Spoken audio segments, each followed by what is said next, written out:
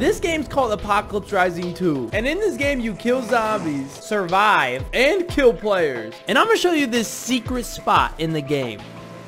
The secret zombie boss cave. This is located right here on the map. And inside, you're going to find huge zombies with guns on their back. And they all drop rare MP40 SMGs. If you think this game is cool, join my Discord. Because I'm going to be making a lot more content on this game.